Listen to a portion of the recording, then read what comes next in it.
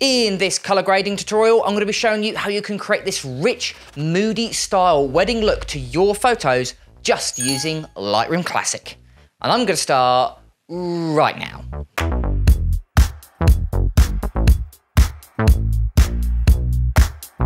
Right guys, so the first thing you want to do is just go ahead and choose a photo. Now this moody style look works with quite a few different types of photos. I'm going from an autumnal urban style photo, uh, which I did at a recent wedding, but again, experiment, see what this specific look goes for your photos. It may work for some, may not work for others.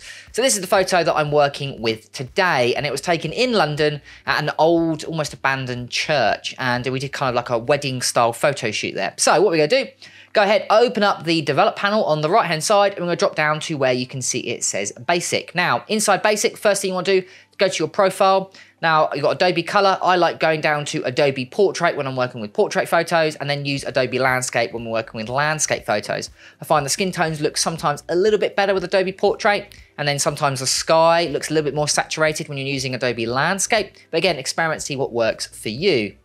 So in this specific case, again, I was shooting on manual white balance. I always recommend doing that, especially if you're doing a gallery, if you've got lots and lots of photos, just so you know you're starting from a set white balance for all of your photos. And I think it makes the colors overall and the white balance look a lot more consistent across your entire gallery. But in this specific case, what I'm gonna do is go to the temperature here, go from 5700 Kelvin and jump up to 6000 Kelvin. And with the tint, I'm gonna leave that alone because uh, I think it looks correct. Uh, but again, it, experiment, see what works for you. Again, your white balance may be off depending on the type of lighting you were shooting in. Okay, so let's go down and firstly go to our exposure. Now, our exposure, what we want to do is actually increase this quite a lot in this specific case. I'm going to increase it by around 0.8, but again, we can go back to that if we find it's a bit too bright or a bit too dark. Okay, so then we'll go to the uh, contrast here. I'm going to increase the contrast by around about 30%. I quite like this strong contrast look when we're going for this moody style. Now, in this specific example, if we go over to the shadows here, oh, that's way too zoomed in. Let's zoom into 200% instead. They are quite dark. And if we go over to the highlights here, they are quite bright. So let's try and balance those. So we're to go to the highlights here. I'm going to drop those down all the way to about 60, I'm going to say about 70% in this specific case. And then with the shadows here, we're gonna increase those by around about the same amount. So we're gonna go for plus 70. Now, as you can see, if we've, well, because we've added in contrast, we've still got a nice contrasty look throughout the entire photo. So then what we're gonna do is gonna go to our whites. We're gonna add in plus 10. I'm gonna go to the blacks here. I'm gonna go for minus 10. Sometimes if you decrease the highlights too far and increase the shadows too far, it can create this matte look where the whites look gray and the blacks look almost like this dark grey instead of black. So what it will do is basically adding in some white will prevent that clipping problem. So it won't make the whites won't look too grey or flat and the blacks will look nice and rich. So what we'll do is go to the texture, clarity, and dehaze. So what we're gonna do is for texture, we're just gonna increase that by 10. Now with portrait style photos, I actually like decreasing the clarity, not by much, but around about 10%. What that'll do is it'll just soften up those skin tones, especially if they're quite prominent within the image. And then with dehaze here, I'm just gonna simply go for a small amount. I'm gonna go for 5%. Now with vibrance and saturation, I'm going to leave the saturation alone because I'm finding it's a little bit too strong, especially for the highlights and shadows. So I'm going to go for the vibrance here, which predominantly affects the mid-tone colors. I'm going to increase that by around 15. That'll add a little bit more brightness and a little bit more vibrancy and saturation to the foliage without adding it to the kind of darker gray areas that you can see on the brick wall behind. Okay, so let's go ahead and turn off the basics panel and let's go ahead and open up hue, saturation, and luminance. Now, hue, saturation, and luminance controls the type of color, the amount of color, and also the brightness of that color. And we can control them using the color bands. So as you can see, it goes from red all the way down to magenta, and then we've got saturation, which again controls the amount of color, and then we've got luminance, which controls the brightness. So let's go ahead and open up hue first. Now in hue, we're not gonna make too many changes. So we're gonna go to the red, we're gonna go for minus five, and then we're to go for oranges. We're also to go for minus five. What that'll do is sometimes I find skin tones can look quite yellow. So with in doing the reds and oranges, we're adding a little bit more red and a little bit more magenta. I find it balances the skin tones a lot more evenly. Okay, so we'll go to the yellows here. Now yellows will make quite a big change. We'll go for minus 25. In this specific photo, uh, there's a lot of yellows found in the foliage. That's the green tree, and you can see kind of the ivy coming down. So we're making it a little bit more of an orangey look, adding a little bit more mood to that colour. And it's the same situation with green. They're kind of half and half, really. So we'll go for minus 25 in this case. And as you can see, we've made it a little bit more orange. So if I do the before and the after, we've added a little bit more of an orangey look, which really works for this moody look that we're going for in this photo. So all we're to do not going to change anything else in this photo, so we're to leave the rest of the colors alone. We're to go ahead and go over to saturation. So with saturation, again, we go for red, to go for minus 10. With the oranges, we're going to go for minus 20. For the yellows, we're going to go for minus 25. And then the last we've got is green. We're going to go for minus 50. So we're really removing that color from the foliage and we're just overall reducing some saturation in some of the skin tones and the rest of the photo. But again, leaving the other four color bands alone. And then we're going to go to luminance here. We're going to do is go to the yellows. So we're going to skip out the skin tones. We're not going to worry about the luminance in this specific example. We're going to go for minus 10 in the yellows. So again, that's just affecting the foliage. And then the green here, we're going to go for minus 20. So we're darkening that foliage, bringing out the kind of vibrancy of the couple that we can see in the, the, foreground. Okay, so once we've done that, we're gonna go to color grading. Now, color grading in this specific example is really going to help. We're create a little more of a consistent look across your entire gallery. I love using color. If you want to know more about the color grading panel, I've got my masterclass series here, which really goes in depth of what you can do. So what we're gonna do is go open up our color grading. We're gonna go over to the shadows first. Now inside the shadows, we're gonna go for, um, Let's see, let's go for more of an orangey tone. So we're gonna go for 20 in this specific example. And then what we're gonna do is add in saturation. Now what this will do is if we look just in the shadow areas, if we go ahead and increase lots, you can see it's adding in that kind of orangey hue. But we want to make it a little bit more subtle. We don't want to go for a complete sepia tone look. So we're to go for 10%. Then what we're to do is to go to the mid-tones and kind of emphasize that a little bit more.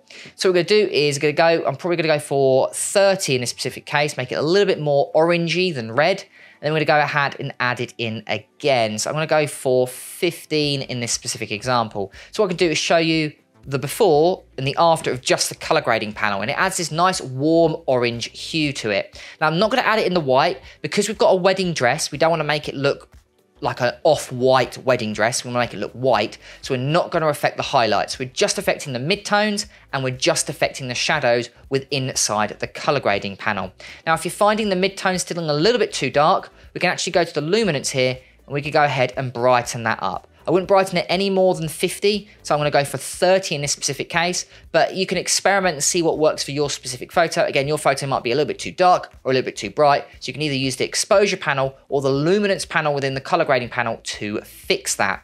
Okay, so what we're gonna do is next we're gonna go down to lens correction. Now, make sure remove chromatic aberration is turned on, as well as enable profile corrections. Now again, I'm using my Sigma 35mm f1.4 prime lens. Really like this lens for weddings, but you may find that your other lens have optical problems, like having a little bit fringing, like the purple or green fringing. So make sure both of these buttons are ticked to fix any distortion issues, any vignetting issues with your lens. Now, if you do have any other problems, you can always go into the manual mode. You can really zoom in and see if you've got any chromatic aberration and you can remove it using the color picker tool. But in this specific example, I actually am quite happy with the image. And again, it's the same with your distortion and vignetting. You can actually fix that there.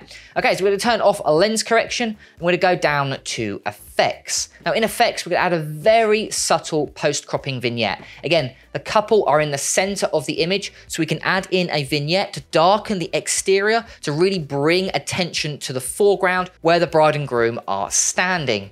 So what we're gonna do is go to the amount here, and we're gonna go ahead and go for minus 15. As you can see, we're just ever so slightly darkening, bringing more focus to the center of the image. And the last thing we'll do is gonna go open up calibration tool. Now I'm finding it's a little bit undersaturated after we've done a few of those changes. So what we're gonna do is, is use the calibration tool to fix that. So we're gonna go to the red primaries, the green primaries and the blue primaries. I'm gonna add in 15. So we go for red there, saturation, we're going to go for saturation of the green primaries. And the lastly, we're going to go for saturation of the blue primaries. Now, if you want to know more about the calibration tool, because it's an incredibly powerful tool within Lightroom Classic, the personally I think it gets majorly overlooked, make sure to go to this playlist here. I've got a full masterclass series which will go over a few of the other panels, but specifically also calibration.